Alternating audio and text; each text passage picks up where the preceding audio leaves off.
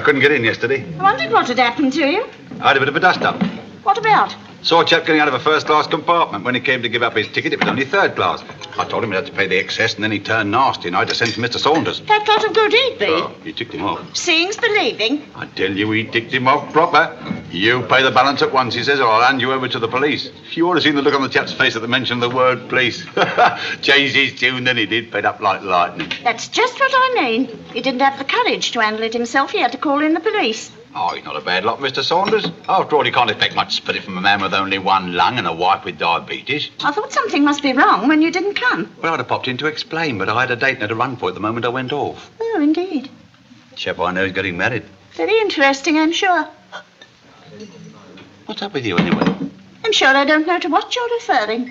You're a bit unfriendly all of a sudden. Beryl, hurry up. Put some more coal in the stove while you're at it. Yes, Mrs. Bagot. I'm afraid I really can't stand here wasting my time in idle gossip, Mr. Godby. Well, aren't you going to offer me another cup? You can have another cup and welcome when you finish that one. Beryl will give it to you. I've got my accounts to do. I say, I'd rather you gave it to me. Time and tide wait for no man, Mr. Godby. Laura, what a lovely surprise. Oh, darling. My dear, I've been shopping till I'm dropping. My feet are nearly off, my throat's parched. I thought of having tea at Spindles, but I was terrified of losing the train. Oh, dear. Oh, this is Dr. Harvey.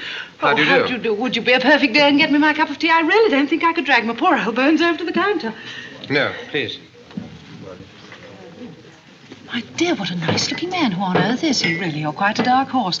I shall telephone Fred in the morning and make mischief. this is a bit of luck. I haven't seen you for ages. I've been meaning to pop in, but Tony's had measles, you know, and then I had all that awful fuss over Phyllis. But of course you don't know. My dear, she left me. Oh, how dreadful. Mind you, I never really cared for her much, but still Tony did. Tony adored her. And I'll tell you all about that later in the train. Thank you so very much. There's certainly enough milk in it, but still it'll be refreshing. Oh dear, no sugar. It's in the spoon. Oh, of course, what a fool I am.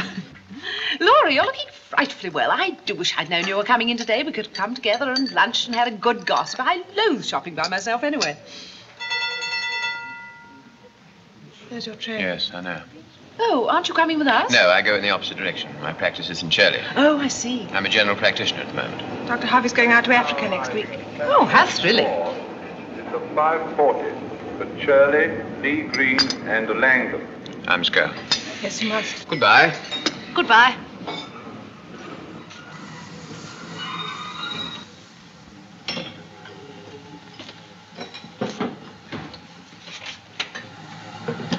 He'll have to run or he'll miss it. He's got to get right over to the other platform. Talking of missing trains reminds me of that awful bridge at Broadham Junction. You've got to go traipsing all up one side, along the top, and down the other. Well, the other day I'd been over to see Bob's solicitors about renewing the lease of the house, and I arrived at the station with exactly half a minute spare. My dear, I flew. I got Tony with me, and like a fool, I just bought a new shade for the lamp in the drawing room. I could have got it just as easily here in Milford. Well, it's the most enormous thing. I could hardly see over it. I've never been in Shafrizn all my life. I nearly knocked a woman down. of course, by the time I got home, it was battered to bits. Oh, is that our train? Can you tell me? Is that the Ketchworth train? No, it's the express. The boat Oh. train. Oh, of course, that doesn't stop, does it? I want some chocolate, please. Milk or plain? Uh, plain, I think. Or, no, perhaps milk would be nicer. Have you any with nuts in it? Nestles, not milk, shilling or sixpence. I'll take one, please. One nut. Large or small? Large, please.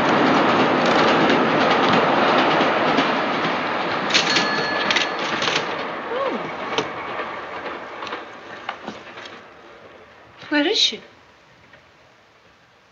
I never noticed her go.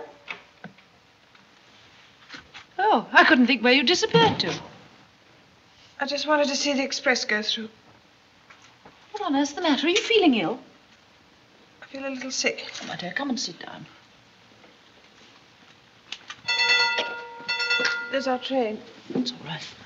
Have you any brandy? I'm afraid it's out of hours. Oh, surely, if somebody's feeling ill. I'm all right, really. Just a sip of brandy, buck you up. Please. Very well. Thank you. How much? Tenpence, please. The train for Ketchworth is now arriving at platform three. You'll have to hurry.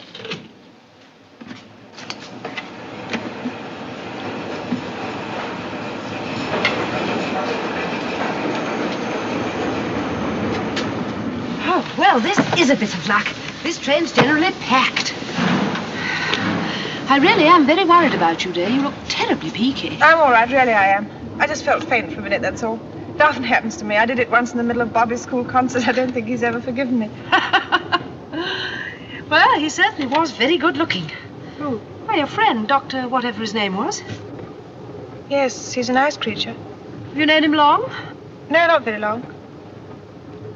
I hardly know him at all, really. Well, my dear, I've always had a passion for doctors. I can well understand how it is that women get neurotic. Of course, some of them go too I wish I could trust you.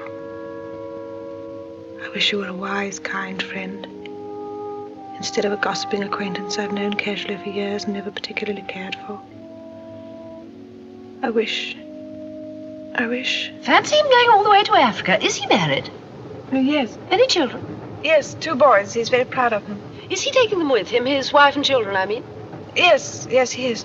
Oh, I suppose it's sensible in a way, rushing off to start life anew in the wide open spaces and all that sort of thing, but wild horses wouldn't drag me away from England and home and all the things I'm used to. I mean, one has one's roots, after all, hasn't one?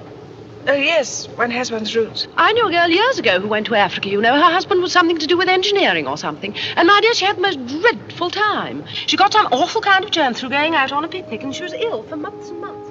I wish you'd stop talking. I wish you'd stop prying and trying to find things out. I wish you were dead. No, I don't mean that. That was silly and unkind. But I wish you'd stop talking. My dear, all her hair came out, and she said the social life was quite, quite horrid. Provincial, you know, and very nouveau riche. Oh, Dolly. What's the matter, dear? Are you feeling ill again? No, not really ill. I feel a bit dizzy. I think I'll just close my eyes for a little. Oh, you poor darling, and here am I chattering away 19 to the dozen. I won't say another word. Oh, and i- if you drop off, I'll wake you up when we get to the level crossing. That'll give you a chance to pull yourself together and powder your nose before we get out. Thanks, Dolly.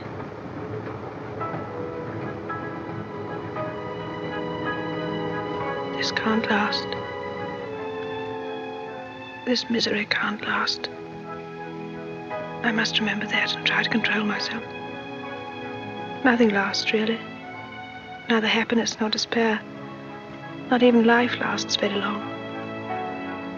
There'll come a time in the future when I shan't mind about this anymore. When I can look back and say quite peacefully and cheerfully how silly I was.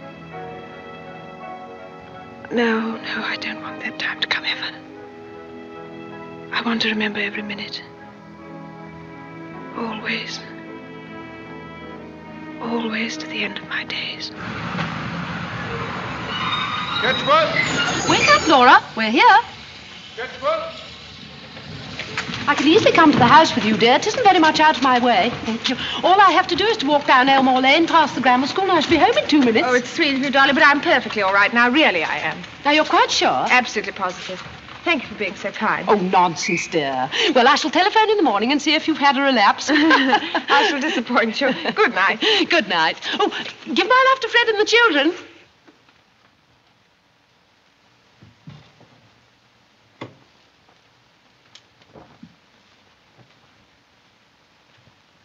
Is that you, Laura? Yes, dear? Thank goodness you've come back. The place has been in an uproar. Why, what's the matter? Bobby and Margaret have been fighting again. They won't go to sleep until you go in and talk to them about it. Mummy, is that you, Mummy? Yes, Margaret? Come upstairs at once, Mummy. I want to talk to you.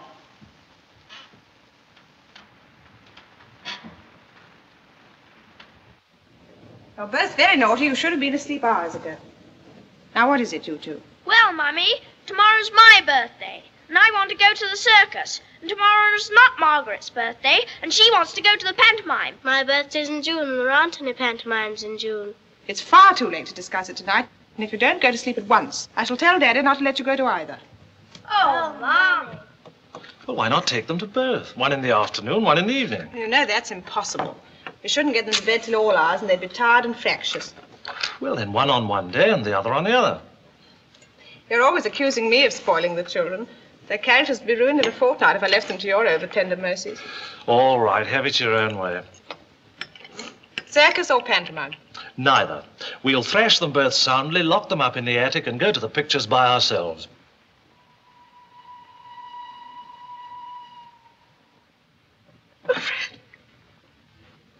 What on earth's the matter? Nothing, really, it's not. Darling, what's wrong? Tell me, please.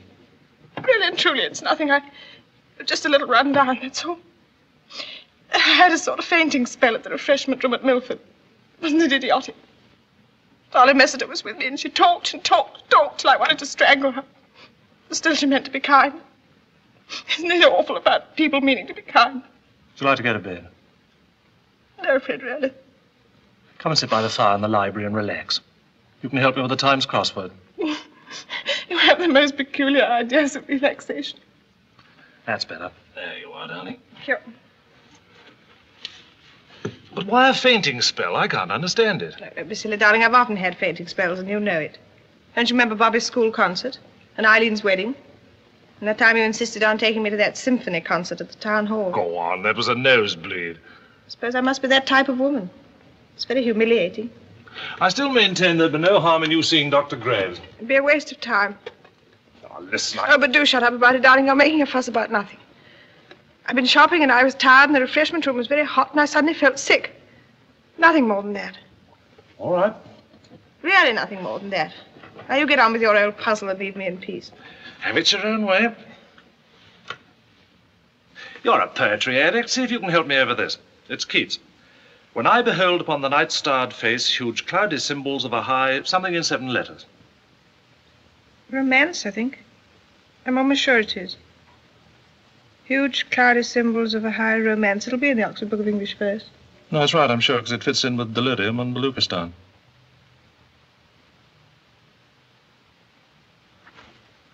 Would some music throw you off your stride? No, dear, I like it.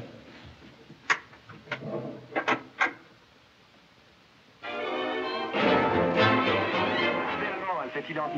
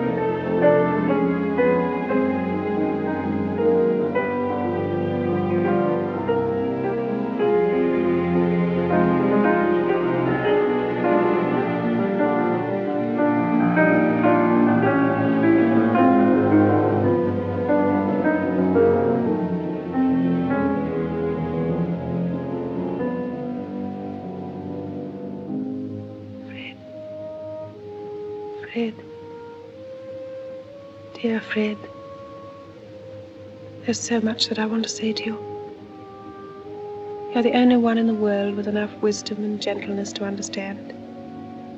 If only it were somebody else's story and not mine. As it is, you're the only one in the world that I can never tell. Never, never. Because even if I waited until we were old, old people and told you then, you'd be bound to look back over the years and be hurt. And oh, my dear, I don't want you to be hurt. You see, we're a happily married couple and must never forget that. This is my home. You are my husband, and my children are upstairs in bed. I'm a happily married woman. Or rather, I was until a few weeks ago. This is my whole world, and it's enough. Or rather, it was until a few weeks ago. But oh, Fred, I've been so foolish. I've fallen in love. I'm an ordinary woman. I didn't think such violent things could happen to ordinary people. It all started on an ordinary day, in the most ordinary place in the world, the refreshment room at Milford Junction. I was having a cup of tea and reading a book that I'd got that morning from Boots. My train wasn't due for ten minutes. I looked up and saw a man come in from the platform. He had on an ordinary mac. His hat was turned down, and I didn't even see his face. He got his tea at the counter and turned.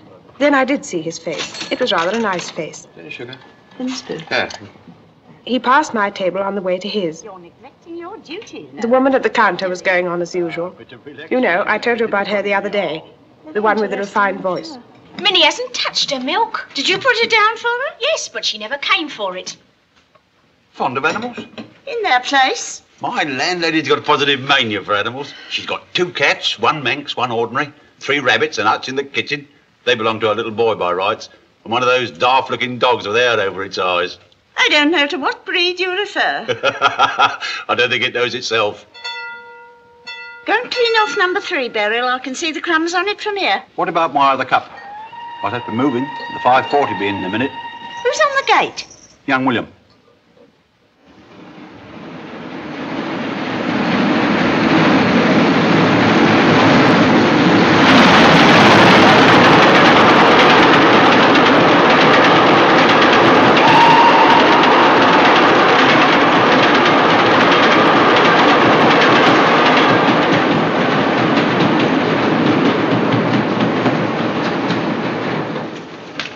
Oh, please, could you give me a glass of water? I've got something in my eye and I want to bathe it. Would you like me to have a look? Oh, no, don't trouble. I expect the water will do. Thank you. Bit of coal dust, I expect. The man I knew lost the sight of one eye through getting a bit of grit in it. Nasty. Very nasty. Better? I'm afraid not. Oh. Can I help you? Uh, oh, no, please, it's only something in my eye. Try pulling your eyelid down as far as it'll go. And then blowing your nose. Please let me look. I happen to be a doctor. That's very kind of you. Oh, turn around to the light, please. Now look up. Now look down. Keep still. That's it. There. Oh, what a relief. It was agonizing. Looks like a bit of grit. It was when the express went through. Thank you very much indeed. There we go. I must run. How lucky for me you happened to be here. Anybody could have done it. Never mind, you did, and I'm most grateful. There's my train. I must go. Goodbye. Goodbye.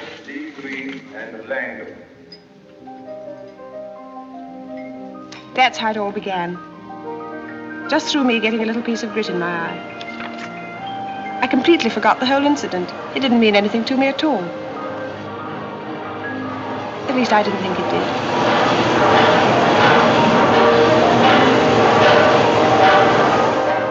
The next Thursday, I went into Milford again as usual.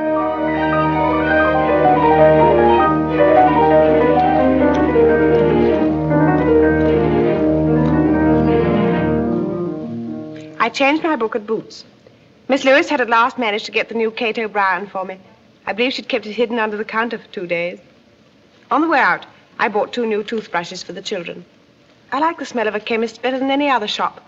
It's such a mixture of nice things herbs and scent and soap. That awful Mrs. Leftwich was at the other end of the counter wearing one of the silliest hats I've ever seen. Fortunately, she didn't look up, so I got out without her buttonholing me. Just as I stepped out onto the pavement. Good morning. Oh, good morning. How's the eye? Perfectly all right. How kind it was of you to take so much trouble. Nothing at all. It's clearing up, I think. Yes, going to be nice. Well, I must be getting along to the hospital. Now I was getting along to the grocer's. What exciting lives we lead, don't we? Goodbye. That evening, I had to run nearly all the way to the station. I'd been to the Palladium as usual, but it was a terribly long film, and I was afraid I'd be late. As I came up onto the platform, the Churley train was just puffing out. I looked up idly as the windows of the carriages went by, wondering if he was there. I remember this crossing my mind, but it was quite unimportant. I was really thinking of other things. The present for your birthday was worrying me rather. It was terribly expensive, but I knew you wanted it. And I'd sort of half taken the plunge and left a deposit on it at Spink and Robson's until the next Thursday. The next Thursday. Well, I squared my conscience by thinking how pleased you'd be and bought it. Yes, I'll have it. Thank you, madam. It was wildly extravagant, I know, but having committed the crime, I suddenly felt reckless and gay. The sun was out, and everybody in the street looked more cheerful than usual. And there was a barrel organ at the corner by Harris's, and you know how I love barrel organs. It was playing Let the Great Big World Keep Turning, and I gave the man sixpence and went to the Kardomah for lunch. It was very full, but two people had got up from the table just as I'd come in. That was a bit of luck, wasn't it? Oh, was it? Just after I'd given my order, I saw him come in.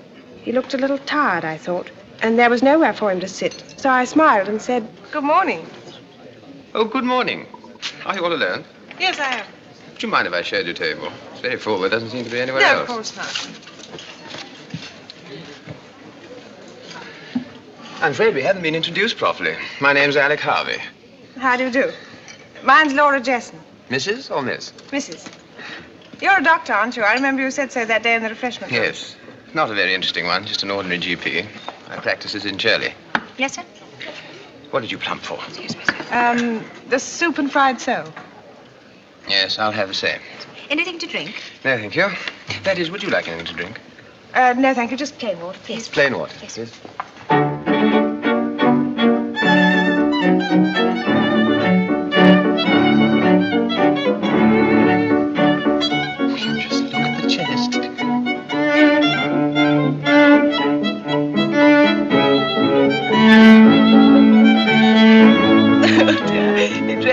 dreadful, isn't it? But we oughtn't to laugh. They might see. There should be a society for the prevention of cruelty to musical instruments. You don't play the piano, I hope. I was forced to as a child. You haven't kept it up. No. My husband isn't musical at all. Good for him. Well, for all you know, I might have a tremendous burning professional talent. Oh, dear, no. Why are you so sure? You're too sane and uncomplicated. I suppose it's a good thing to be uncomplicated, but it does sound a little dull. You can never be dull. Do you come here every Thursday? Yes, to spend a day at the hospital. Stephen Lynn, the chief physician here, graduated with me. I take over from him once a week. Gives him a chance to go up to London. Gives me a chance to study the hospital patients. I see. Do you? Do I what? Come here every Thursday. Oh, yes, I do the week shopping. Thank you. Change my library book, have lunch, and generally go to the pictures. Not a very exciting routine, but it makes a change. Are you going to pictures this afternoon? Yes. Hmm. Extraordinary. So am I. I thought you had to spend all day at the hospital. Well, between ourselves, I killed two patients by accident this morning, and the matron is very displeased with me. I, I simply daren't go back. Can you be so silly? But seriously, I really did get through most of my work this morning. Won't matter at all if I play truant. Would you mind very much if I came to pictures with you? Well, uh, I could sit downstairs. You could sit upstairs. upstairs is too expensive. The orchestra stopped as abruptly as it had started, and we began to laugh again. I had no premonitions, though I suppose I should have had. It all seemed so natural and so innocent. We finished lunch, and that idiot of a waitress had put the bill all on one. I really must insist. I couldn't possibly.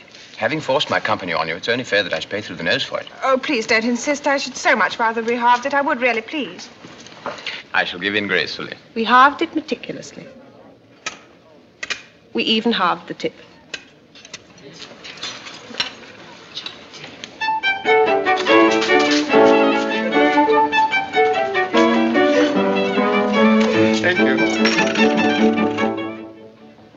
Choices. The loves of Cardinal Richelieu at the Palace, or Love in a Mist at the Palladium. You're very knowledgeable. And there must be no argument about buying the tickets. We each pay for ourselves. You must think me a very poor doctor if I can't afford a couple of one and ninepennies. I insist. I had hoped you were going to treat me. Which is it to be, Palace or Palladium? Palladium. I was once very sick on a channel steamer called Cardinal Richelieu.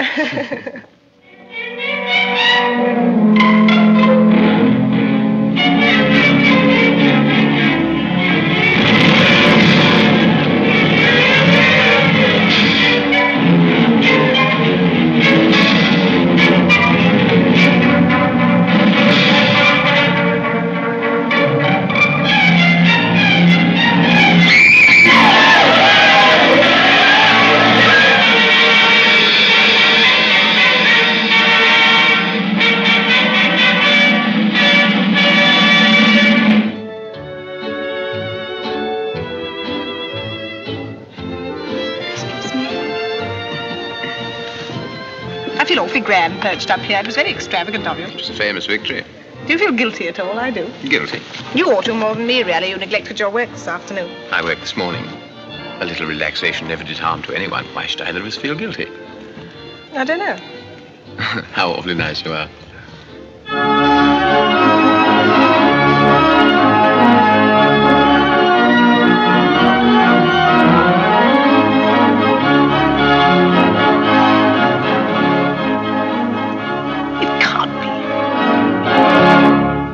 It is.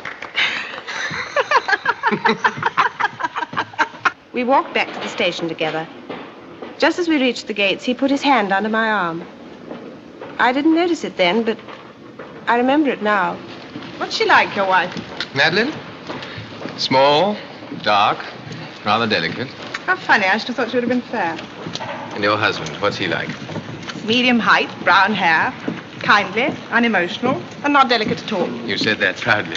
Did I? Even. Maybe. We've just got time for a cup of tea before our trains go. And for the third time in one week, he brought that common man and his wife to the house without so much as a by your leave. Two teas, please. Cake or pastry? Cake or pastry? No, thank you. Are those bath buns fresh? Certainly they are. Made this morning. Two, please. That'll be sevenpence. Take the tea to the table, Beryl. I'll carry the buns.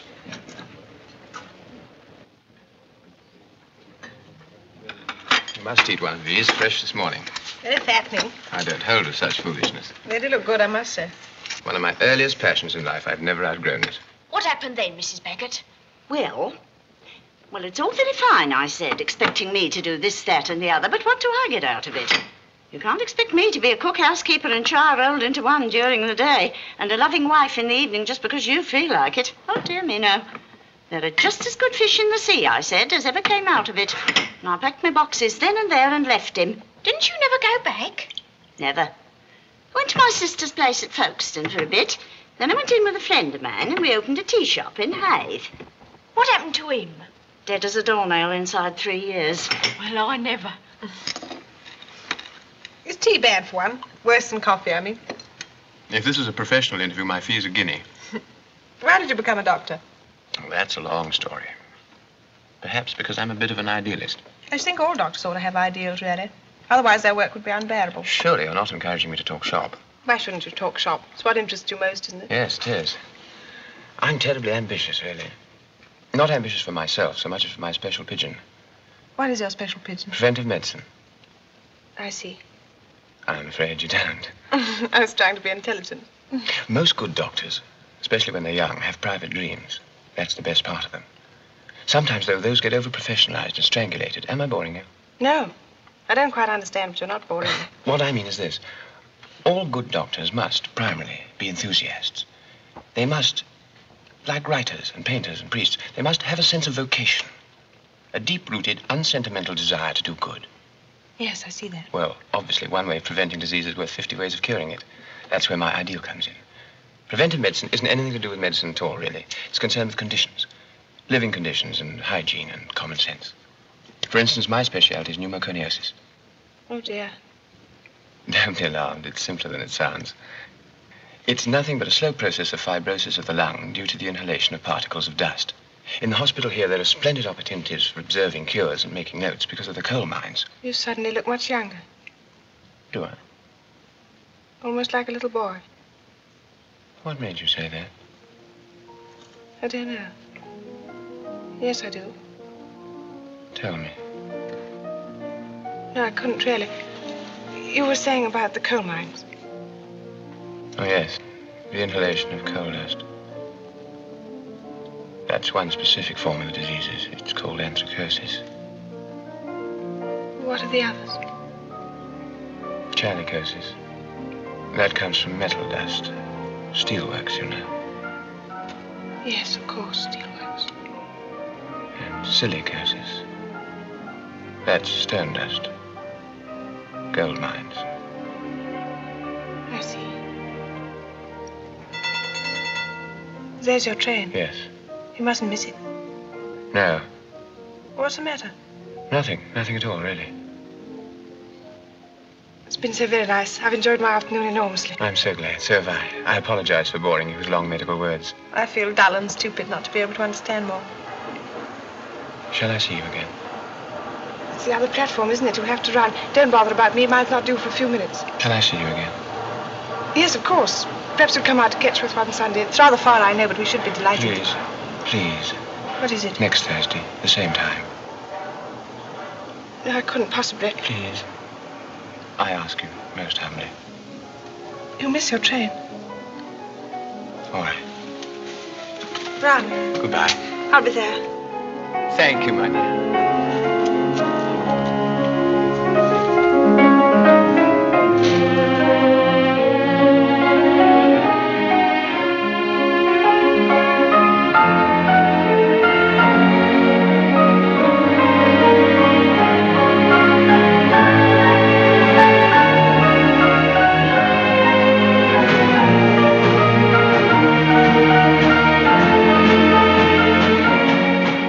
I stood there and watched his train draw out of the station.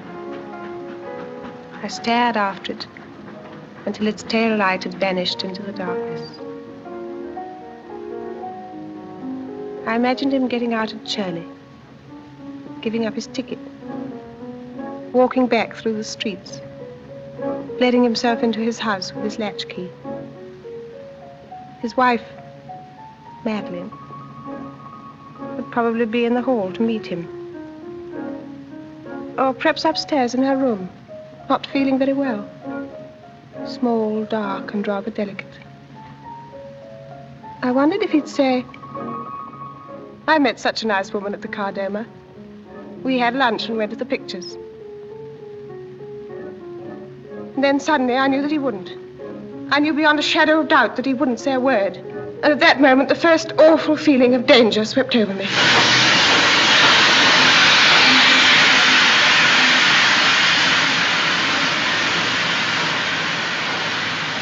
I got into the first compartment I saw. I wanted to get home as quickly as possible. I looked hurriedly round the carriage to see if anyone was looking at me, as if they could read my secret thoughts. No one was, except a clergyman in the opposite corner. I felt myself blushing and opened my library book and pretended to read. By the time I'd got to Ketchworth, I'd made up my mind definitely that I wasn't going to see Alec anymore. Good evening, Mrs. It was silly and undignified flirting like that with a complete stranger. Oh, good evening. I walked up to the house quite briskly and cheerfully. I'd been behaving like an idiot, admittedly, but after all, no harm had been done. You met me in the hall. Your face was strained and worried, and my heart sank. Fred, what's the matter?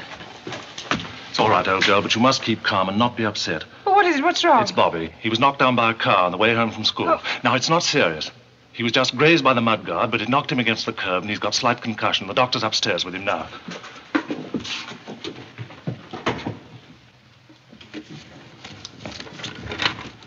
It's all right, Mrs. Jesson. Nothing to worry about. He'll be as right as rain in a few hours. You're sure? You're sure it's not serious? Quite sure. But it was certainly a very lucky escape. I've given him a little sedative, and I shall advise keeping him at home for a couple of days. It must have been a bit of a shock, and his right I felt so dreadful, Fred, looking at him lying there with that bandage round his head. I tried not to show it, but I was quite hysterical inside. As though the whole thing were my fault.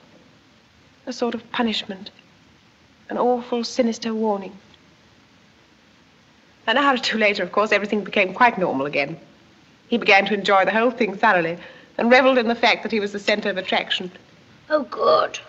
Do you remember how he spent the whole evening planning his future? But he's much too young to decide, really. Good life. The boy has a feeling for it. Well, how can we possibly really know if he has a feeling for it? He'll probably want to be an engine driver next week. No, it was last week he wanted to be an engine driver. Seems so final, somehow, entering a child of that age for the Navy. It's a healthy life. Well, I know it's a good life, and I know it's a healthy life. And I know he'll be able to see the world and have a wife in every port and keep on calling everybody sir, but what about us? What do you mean, what about us? We shall hardly ever see him. Oh, nonsense. It isn't nonsense. He'll be sent away to sea as a smooth-faced boy, and the next thing we know, he'll come walking in with a long beard and a parrot. I think you take rather a Victorian view of the Navy, my dear. He's our only son, and I should like to be there while he's growing up. All right, old girl. Then we'll put him into an office and you can see him off on the 8.50 every morning. You really are very annoying. You know perfectly well I should hate them. All right, have it your own way. Fred, Hmm? I had lunch with a strange man today, and he took me to the movies. Good for you. He's awfully nice. He's a doctor. A very noble profession. Dear. It was Richard III who said my kingdom for a horse, wasn't it? Yes, darling. Yes, well, I wish to goodness he hadn't, because it spoils everything. I thought perhaps we might ask him to dinner one night. By all means. Who? Dr. Harvey, the one I was telling you about. Must it be dinner? Well, you're never at home for lunch. Exactly. Oh, Fred. Now, what on earth's the matter? it's nothing. It's only. Oh, Fred. Well, I really don't see what's so frightfully funny. Oh, I do. It's all right, darling. I'm not laughing at you. I'm laughing at me. I'm the one that's funny. I'm an absolute idiot. Worrying myself about things that don't exist and making mountains out of molehills. I told you when you came in that it was nothing serious. There was nothing to get into such a state No, about. I, I do see that now. I really do.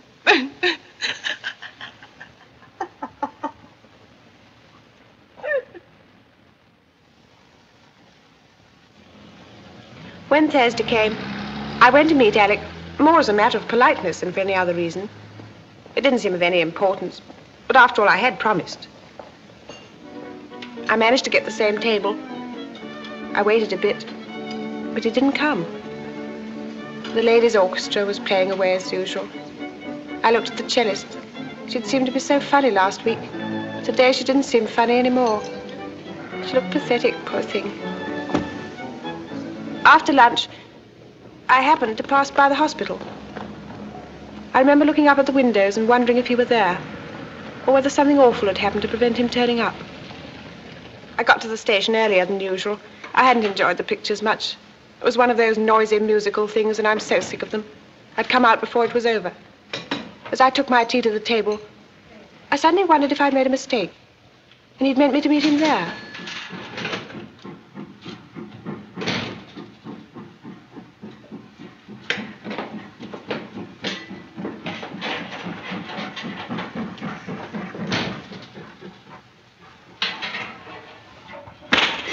Oh, but Godby, how dare you? I couldn't resist it. Oh, trouble you to keep your hands to yourself. Oh, you're blushing. Oh, you look wonderful when you're angry. Just like an avenging angel. I'll give you avenging angel. Coming in here taking liberties. I thought after what you said last Monday, you wouldn't object to a friendly little slap. Never you mind about last Monday. I'm on duty now. Nice thing if Mr. Saunders had happened to be looking through the window. Well, if Mr. Saunders is in the habit of looking through windows, it's about time he saw something worth looking at. You ought to be ashamed of yourself. Oh, it's high spirits. Don't be mad at me. High spirits indeed. Take your tea and be quiet. It's all your fault, really. I don't know to what you're referring. I was thinking of um, tonight. If you don't learn to behave yourself, there won't be a tonight, or any other night either. Give us a kiss. I'll do no such thing. The lady might see us. Come on, a quick one across the bar. Albert, stop it. Come on, there's a love. Let go of me this minute. There's a- Albert! Now look at me Banbury's all over the floor. Just in time, or born in the vestry. You shut your mouth and let Mr. Godby pick up them cakes. Along now. What you standing there gaping at?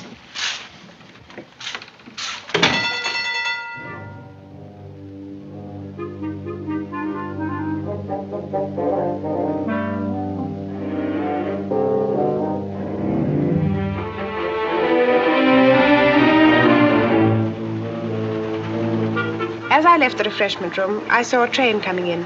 His train. He wasn't on the platform, and I suddenly felt panic stricken at the thought of not seeing him again.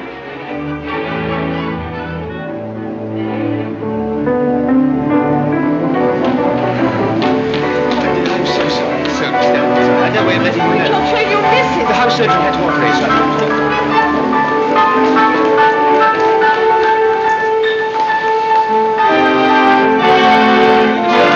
Can't over, but I thought they might shout your name out the barricade. Please don't say it.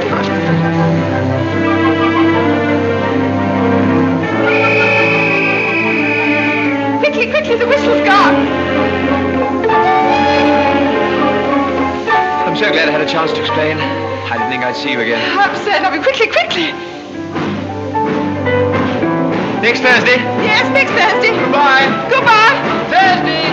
Goodbye. The train for Ketchworth is about to leave from platform three.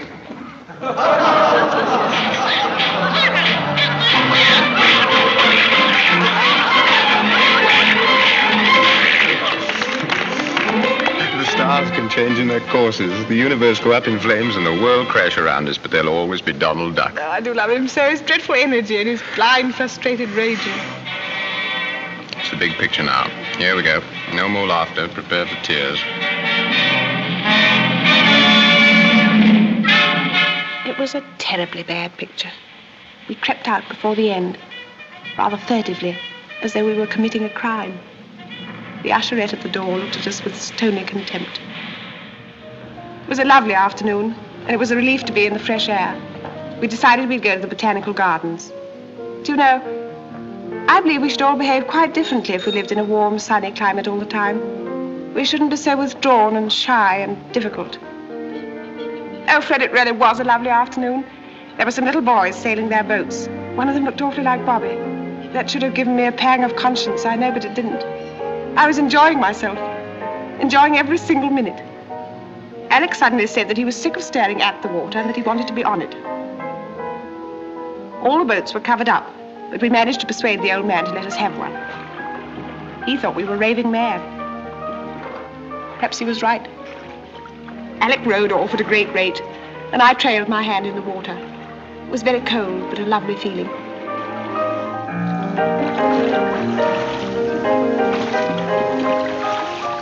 you don't row very well, do you? I'm going to be perfectly honest with you. I don't row at all. And unless you want to go round and round in ever narrowing circles, you'd better start steering. Oh, we had such fun, Fred. I felt gay and happy and sort of released. That's what's so shameful about it all. That's what would hurt you so much if you knew.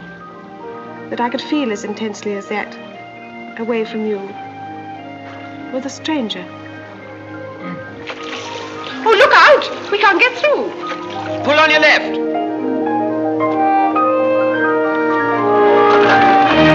Oh, oh dear, I never could tell left from right. I'm most awfully sorry.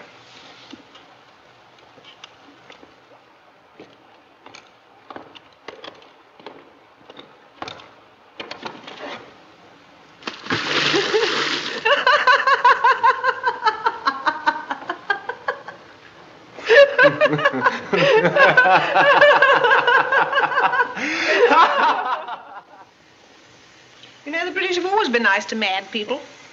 That boatman thinks we're quite docile. Look how sweet he's been. Tea, milk, even sugar.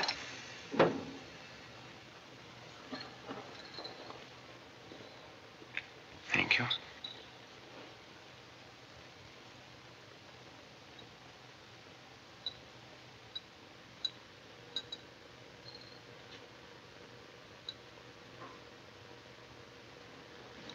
You know what's happened, don't you? Yes. Yes, I do. I've fallen in love with you. Yes, I know. Tell me honestly. Please tell me honestly if what I believe is true. What do you believe? That it's the same with you. That you've fallen in love too. Sounds so silly. Why? I know you so little. It is true, though, isn't it? Yes, it's true. Laura. No, please. We must be sensible. Please help me to be sensible. We mustn't behave like this. We must forget that we've said what we've said. Not yet. Not quite yet. But we must, don't you see? Listen. It's too late now to be as sensible as all that. It's too late to forget what we said. And anyway, whether we'd said it or not couldn't have mattered. We know. We've both of us known for a long time. How can you say that? I've only known you for four weeks. We only talked for the first time last Thursday week. Last Thursday week. Has it been a long time for you since then? Answer me truly. Yes. How often did you decide that you were never going to see me again? Several times a day. So did I. I love you. I love your wide eyes, the way you smile, and your shyness, and the way you laugh at my jokes. Please don't. I love you. I love you. You love me too. It's no use pretending it hasn't happened, because it has. Yes, it has. I don't want to pretend anything either to you or to anyone else. But from now on, I shall have to. That's what's wrong, don't you see? That's what spoils everything. That's why we must stop here and now talking like this. We're neither of us free to love each other. There's too much in the way. There's still time.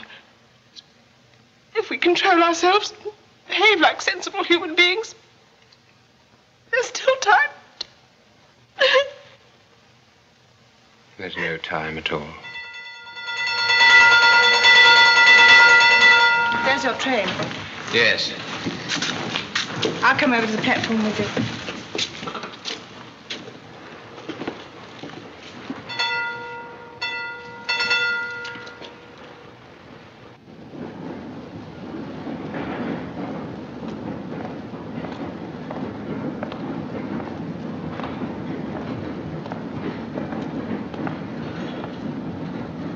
Oh, no, Alec, not here. Someone will see. I love you so.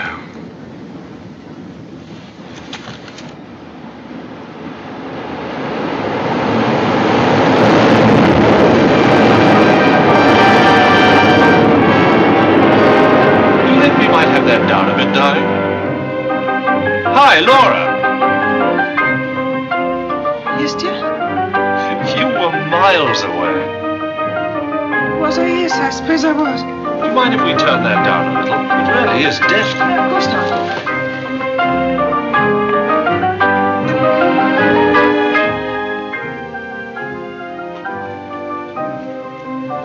Shan't be long over this, darling, then we'll go up to bed. You look a bit tired, you know. Don't hurry, I'm perfectly happy.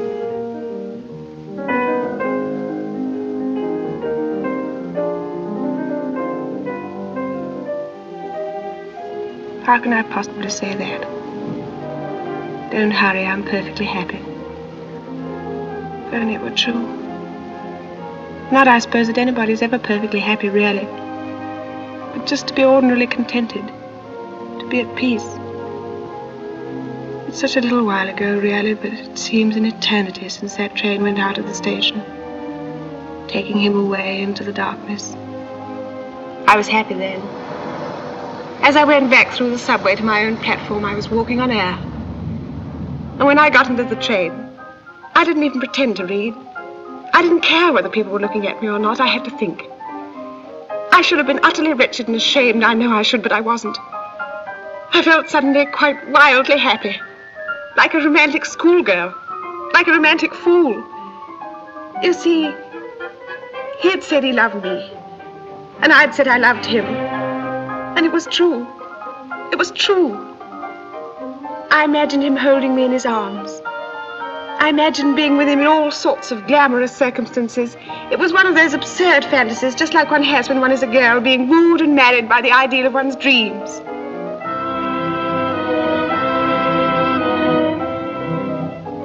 I stared out of that railway carriage window into the dark and watched the dim trees and the telegraph posts slipping by. And through them I saw Alec and me. Alec and me. Perhaps a little younger than we are now, but just as much in love and with nothing in the way.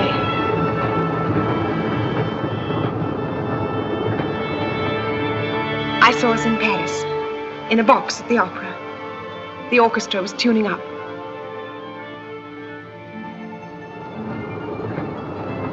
Then we were in Venice, drifting along the Grand Canal in a gondola with the sound of mandolins coming to us over the water. I saw us traveling far away together, all the places I've always longed to go. I saw us leaning on the rail of a ship, looking at the sea and the stars. Standing on a tropical beach in the moonlight with the palm trees sighing above us. Then the palm trees changed into those pollarded willows by the canal just before the level crossing. And all the silly dreams disappeared. And I got out at Ketchworth and gave up my ticket and walked home as usual, quite soberly and without wings, without any wings at all. When I changed for dinner and was doing my face a bit, do you remember? I don't suppose you do, but I do. You see, you didn't know that that was the first time in our life together that I'd ever lied to you. It started then.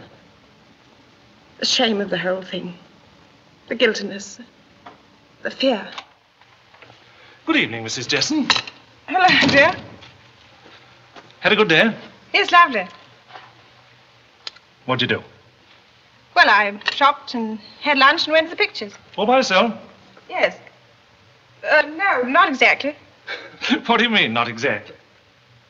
Well, I went to the pictures by myself, but I had lunch with Mary Norton. She couldn't come to the pictures with me because she had to go and see her in-laws. They lived just outside Milford, you know. So I walked with her to the bus and then came home on my own. Haven't seen Mary Norton for ages. How's she looking? Oh, very well, really. A little fatter, I thought. Hurry up with all this beautifying. I want my dinner. You go on down. I won't be five minutes.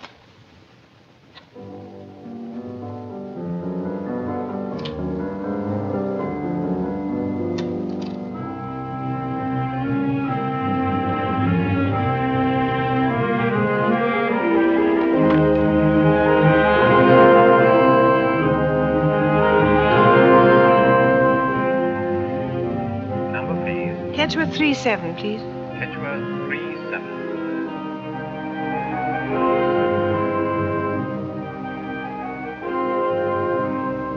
Hello? Hello, is Mrs. Norton there, please? Yes. Will you hold on? Yes, I'll hold on. Hello? Hello, is that you, Mary? Oh, Laura! Fancy hearing from you. I thought you were dead. no, I haven't seen you for ages. Listen, my dear, will you be a saint and back me up in the most appalling domestic lie? Bad as all that. my life depends on it. Well, today I went into Milford as usual to do my shopping. With the special intention of buying a far too expensive present for Fred's birthday. Uh-huh. Well, Spink and Robson's hadn't got what I wanted, which was one of those clocks with um, barometers and everything in one. But they rang up their branch at Broadham and said there was one there. So I hopped on the 1.30 train and went to get it. Go on. Well, this is where the black lie comes in.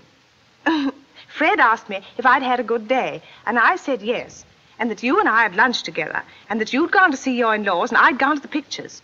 So if you run into him, don't let me down, will you? But, Darling, of course not. I'll do as much for you, I promise. well, let's really lunch one day. Yes, that'd be lovely. What about next Thursday? No, I can't on Thursday. That's my Milford day. What about Friday? Fine. Better make it here. All right, perfect.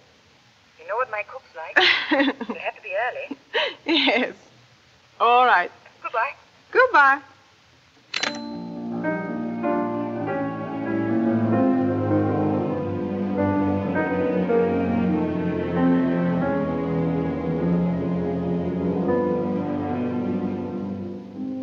That week was misery. I went through it in a sort of trance. How odd of you not to have noticed that you were living with a stranger in the house. Thursday came at last. I'd arranged to meet Alec outside the hospital at 12.30.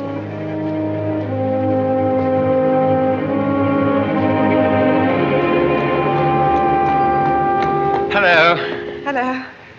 I thought you wouldn't come. I've been thinking all the week that you wouldn't come. I didn't mean to, really, but here I am.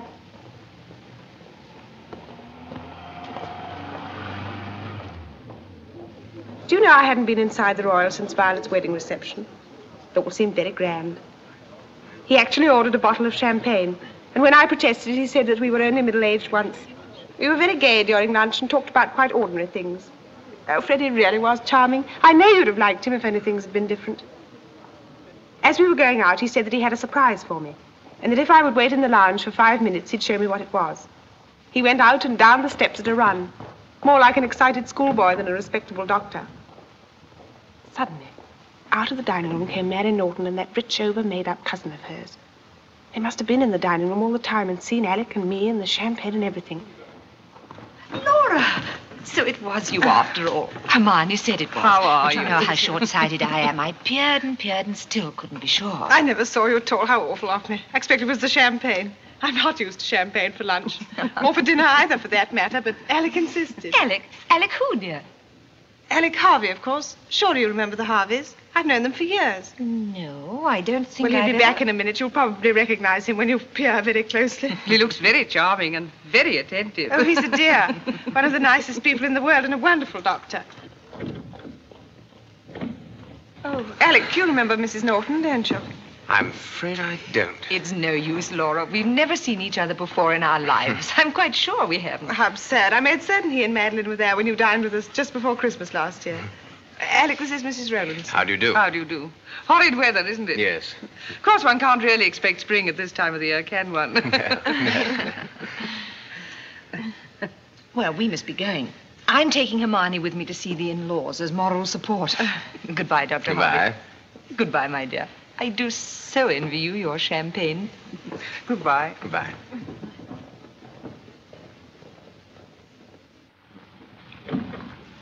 That was awful. Never mind. They've been watching us all through lunch. Oh, dear. Forget it. Come out and look at the surprise. There at the foot of the steps was a little two-seater car. Alec had borrowed it from Stephen Lynn for the afternoon. I tried so hard to look pleased, but it wasn't any good. I kept thinking of those two, laughing and talking, laughing and talking about us, and I couldn't get them out of my mind.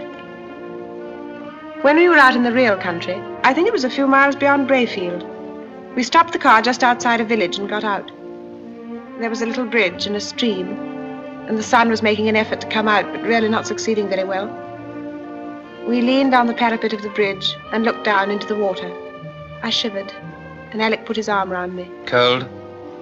No, not really. Happy? No, not really. I know exactly what you're going to say. That it isn't worth it. That the furtiveness and lying outweigh the happiness we might have together. Isn't that it? Something like that. I want to ask you something, just to reassure myself. What is it? It is true for you, isn't it? This overwhelming feeling we have for each other. It's as true for you as it is for me, isn't it? Yes, it's true.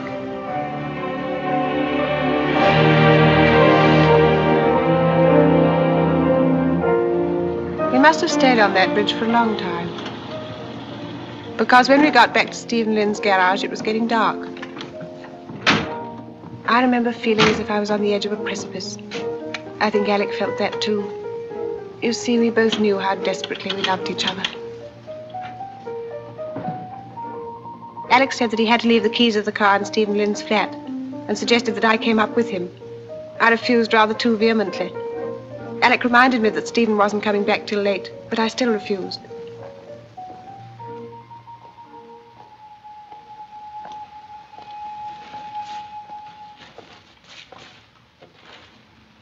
I'm going back.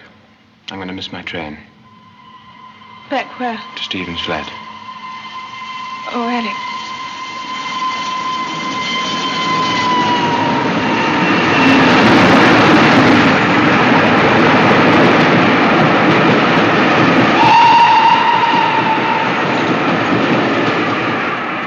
Alec, I must go home now. I really must go home.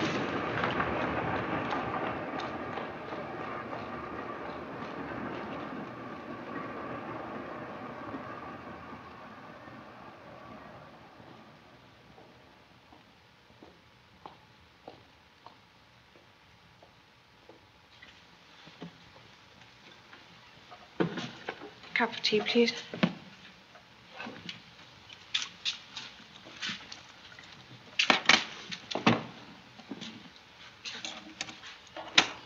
Good afternoon. Afternoon, lady. Afternoon. Couple of whiskies, please. Very sorry, it's out of hours. Well, just sneak 'em to us under the cover of them poor old sandwiches. Them sandwiches were fresh this morning, and I shall do no such thing. Come on, be a sport. You can have as much as you want to after six o'clock. My throat's like a parrot's cage. Listen. I'm sorry, my license does not permit me to serve alcohol out of hours. That's final. You wouldn't want to get me into trouble, would you? Just give us the chance, lady. That's all we ask. Just give us the chance.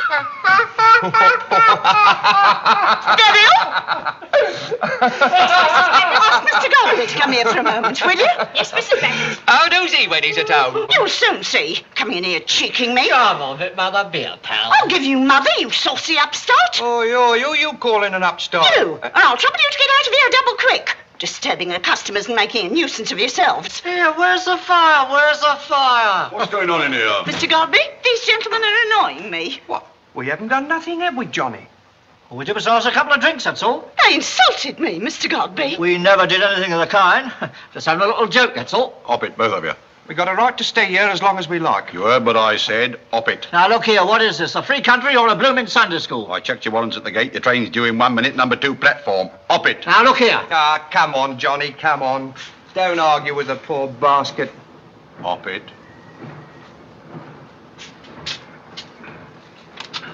Cheerio, Mother.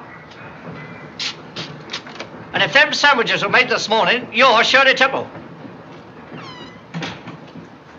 Thank you, Albert. What a nerve talking to you like that, Mrs. Bagot. Be quiet, Beryl.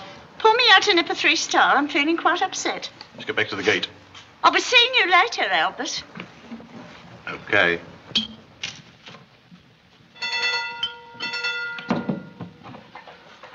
The train now arriving at platform 3 is the 543 from Ketchworth. I really must go home. I'm going back to the flat. I must go home. I really must go home. I'm going back to the flat. I'm going home.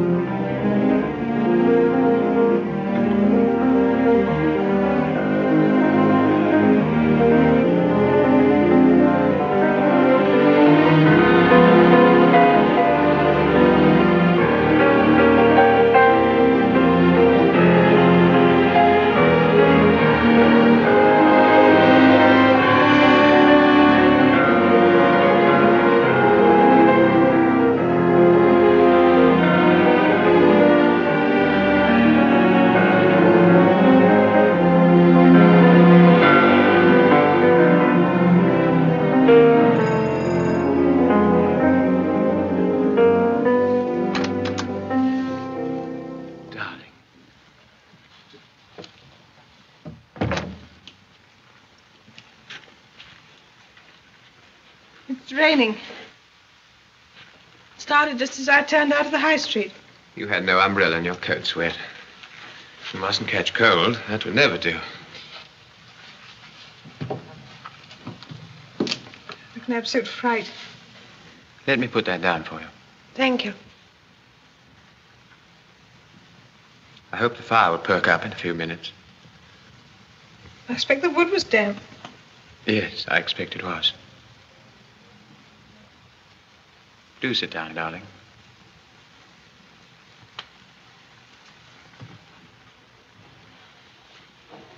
I got right into the train, then got out again. Wasn't it idiotic?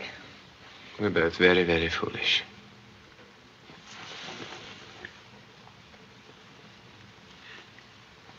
Alec, I can't stay, you know. Really, I can't. Just a little while. Just a little while. Quickly, quickly, I must go. Here, through the kitchen. There's a tradesman's staircase.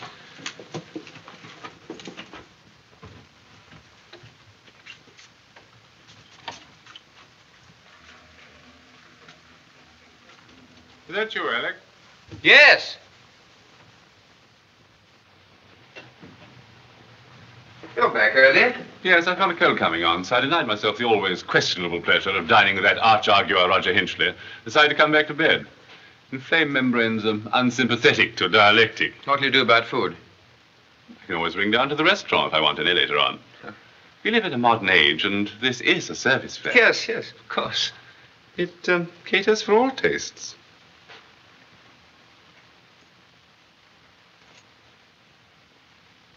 You know, my dear Alec, you have hidden depths which I never even suspected. Look here, Stephen, I For really heaven's sake, Alec, no explanations or apologies. I am the one who should apologize for returning so inopportunely. It's quite obvious to me that you were interviewing a patient privately. Women are frequently rather neurotic creatures, and the hospital atmosphere is upsetting to them. By the rather undignified scuffling which I heard when I came into the hall, I gathered that she beat a hasty retreat down the back stairs. I'm surprised at this farcical streak in your nature, Alec. Such carryings on are quite unnecessary. After all, we've been friends for years, and I am the most broad-minded of men. I'm really very sorry, Stephen. I'm sure that the whole situation must seem inexpressibly vulgar to you. Actually, it isn't in the least. However, you're perfectly right. Explanations are unnecessary, particularly between old friends. I must go now. Very well. I'll collect my hat and coat. Goodbye. Perhaps you'll let me have my latchkey back. I only have two, and I'm so afraid of losing them. You'll know how absent-minded I am. You're very angry, aren't you? No, Alec, not angry. Just disappointed.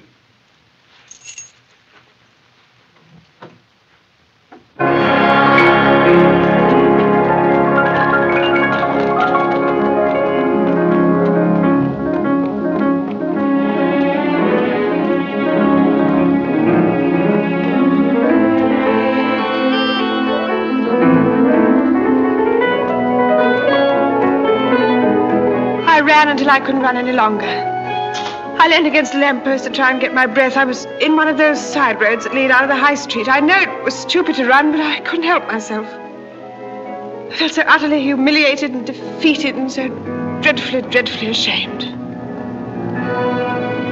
After a moment or two, I pulled myself together and walked on in the direction of the station. It was still raining, but not very much. I suddenly realized that I couldn't go home. Not until I'd got myself more under control and had a little time to think. Then I thought of you waiting at home and the dinner being spoilt. So I went into the high street and found a tobacconist and telephoned to you. Do you remember?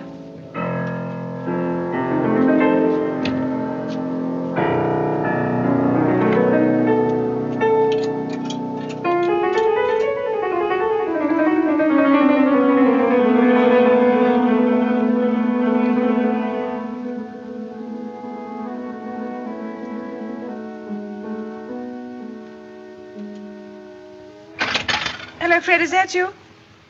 Yes, dear, it's me, Laura. Yes, everything's perfectly all right, but I shan't be home to dinner. I'm with Miss Lewis. Miss Lewis, dear, you know the librarian I told you about at Boots. Y- yes, I can't explain in any detail because she's outside the box now. Well, I met her in the high street a little while ago in a terrible state. Her mother's been taken ill, and I promised to stay with her until the doctor comes.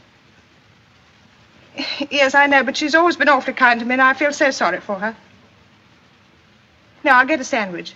But ask Ethel to leave me some soup in a saucepan in the kitchen. Yes, of course, as soon as I can. All right, goodbye. It's awfully easy to lie when you know that you're trusted implicitly. So very easy. And so very degrading. I started walking without much purpose. I turned out of the high street almost immediately. I was terrified that I might run into Alec. I was pretty certain that he'd come after me to the station. I walked for a long while. Finally, I found myself at the War Memorial. You know, it's right at the other side of the town. It had stopped raining altogether, and I felt stiflingly hot. So I sat down on one of the seats. There was nobody about, and I lit a cigarette. I know how you disapprove of women smoking in the street. I do too, really, but I wanted to calm my nerves, and I thought it might help. I sat there for ages. I don't know how long. Then I noticed a policeman walking up and down a little way off. He was looking at me rather suspiciously. Presently, he came up to me. Feeling all right, miss? Yes, thank you. Waiting for someone? No. No, I'm not waiting for anybody. Don't go and catch cold now. It's a damp night they're sitting about on seats. I'm going now anyhow. I've got to catch a train. You sure you feel quite all right? Quite, thank you. Good night. Good night, miss. I walked away, trying to look casual, knowing that he was watching me. I felt like a criminal. I walked rather quickly back in the direction of the high street. I got to the station 15 minutes before the last train to Ketchworth.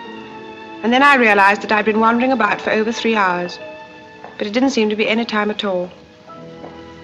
Stan, you are awful. See you in the yard. All right. I'd like a glass of brandy, please. We're just closing. Yes, I see you are, but you're not quite closed yet, are you? Three star. That'll do.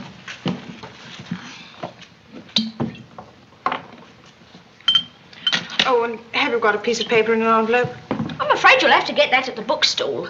Well, the bookstall's closed. Please, it's very important. I should be so much obliged. All right, just a minute.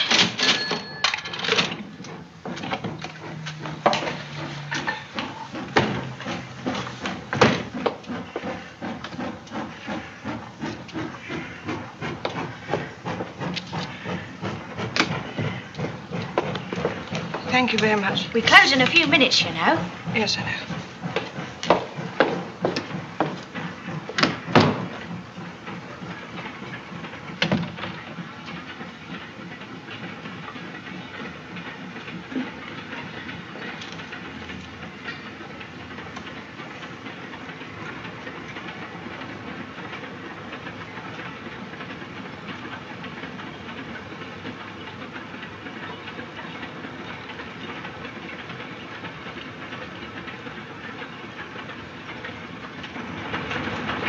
Darling, I've been looking for you everywhere. Please go away. Please watched don't every send me. train. Please go away.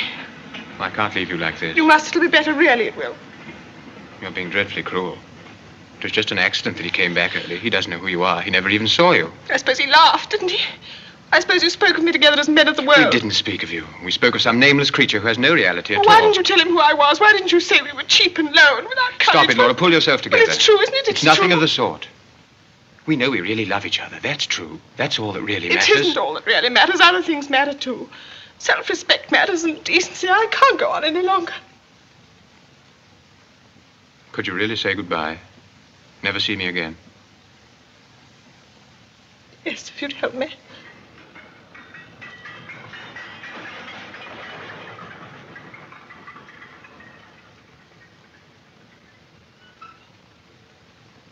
I love you, Laura. I shall love you always until the end of my life. I can't look at you now because I know something. I know that this is the beginning of the end. Not the end of my loving you, but the end of our being together. But not quite yet, darling. Please, not quite yet. Very well, not quite yet. I know what you feel about this evening. I mean, about the sordidness of it. I know about the strain of our different lives, our lives apart from each other. The feeling of guilt, of doing wrong, is too strong, isn't it? Too great a price to pay for the happiness we have together. I know all this because it's the same for me, too. You can look at me now. I'm all right.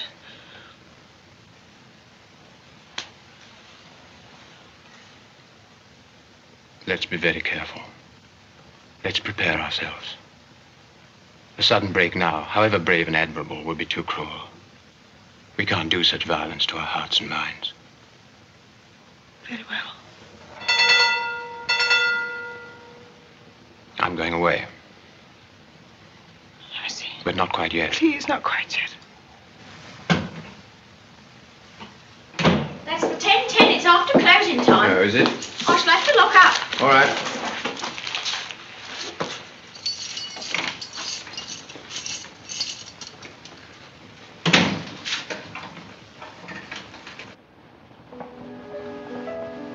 Want you to promise me something. What is it? Promise me that however unhappy you are, and however much you think things over, that you'll meet me again next Thursday, Where? outside the hospital at 12.30. All right, I promise. I've got to talk to you. I've got to explain. About going away? Yes. Where will you go? Where can you go? You can't give up your practice. I've had a job offered me. I wasn't going to tell you. I wasn't going to take it. But I know now it's the only way out. Where? A long way away. Johannesburg. Oh, Alec. My brother's out there.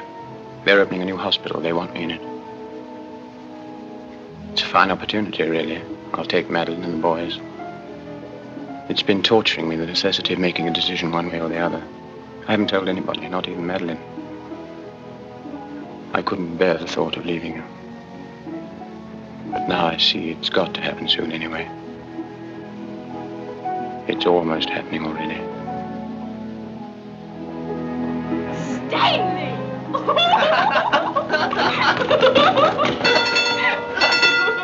When will you go? Almost immediately. In about two weeks' time. Quite near, isn't it? Do you want me to stay? Do you want me to turn down the offer? Oh, don't be foolish, Alec. I'll do whatever you say. That's unkind of you, my darling. The train for Ketchworth is now arriving at platform 3.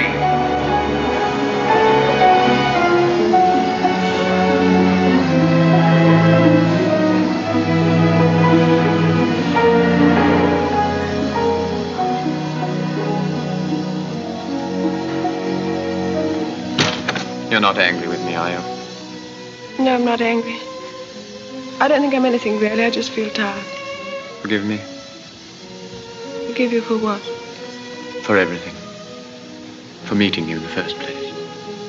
For taking the piece of grit out of your eye. For loving you. For bringing you so much misery. I'll forgive you if you'll forgive me.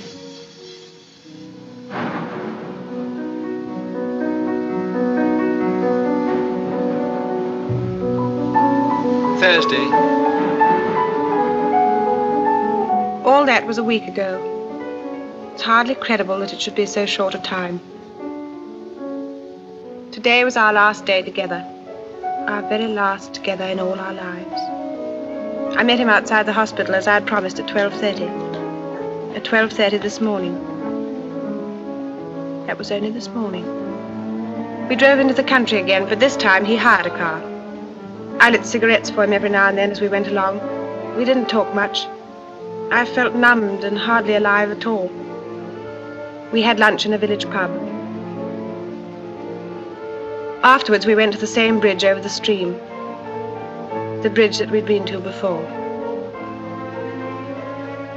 Those last few hours went by so quickly.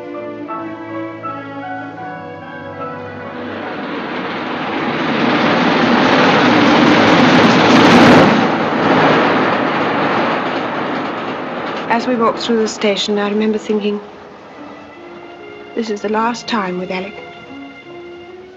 I shall see all this again, but without Alec. I tried not to think of it. Not to let it spoil our last moments together.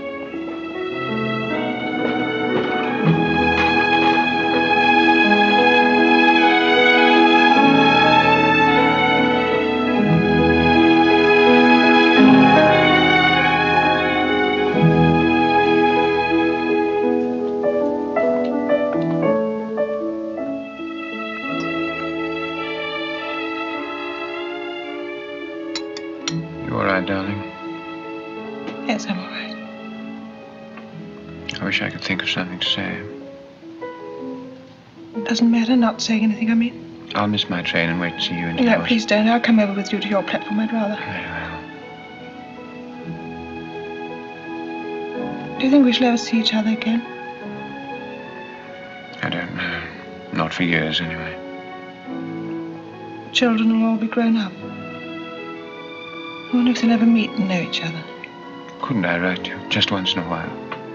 No, Alec, please, you know we promised. Do love you so very much. I love you with all my heart and soul. I want to die. If only I could die. If you died, you'd forget me. I want to be remembered. Yes, I know I do too.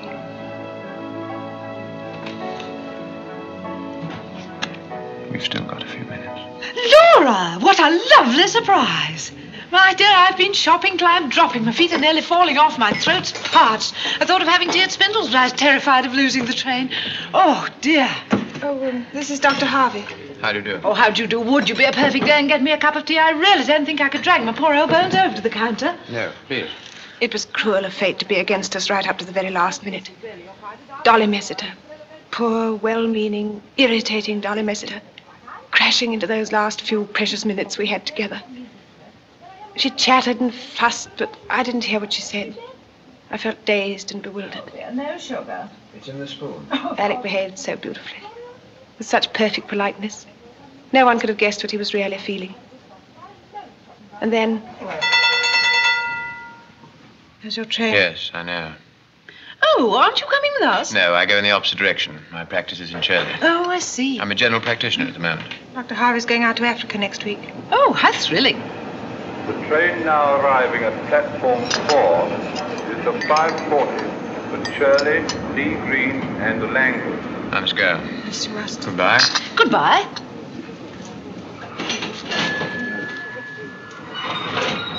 I felt the touch of his hand on my shoulder for a moment.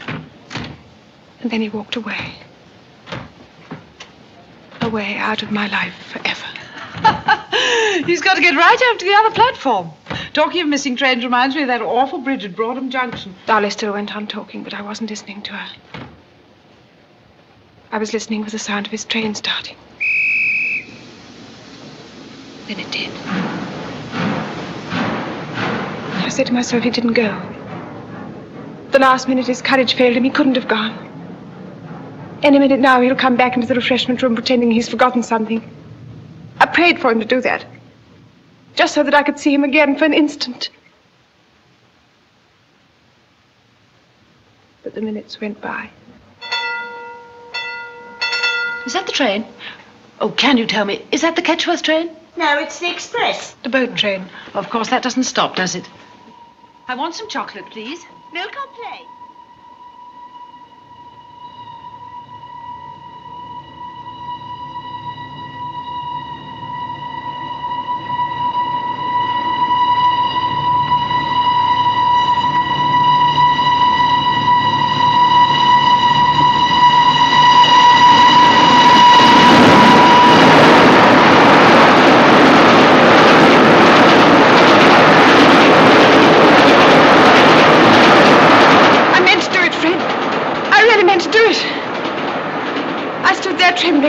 Edge.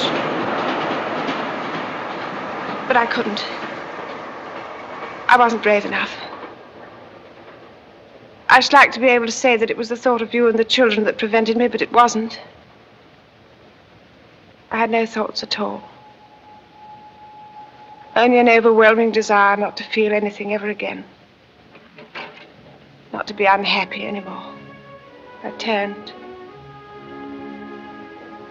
and went back into the refreshment room.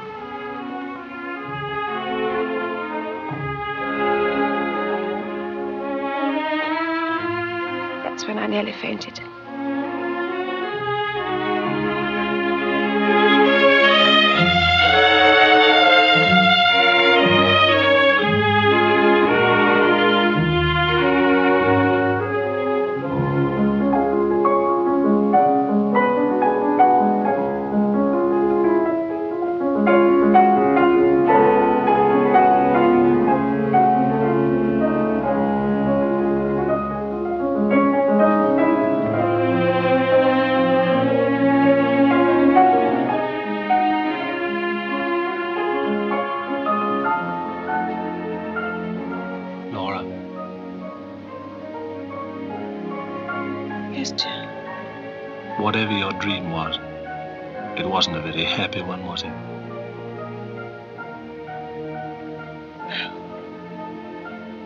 anything I can do to help. Yes, Fred, you always help. You've been a long way away. Thank you for coming back to me.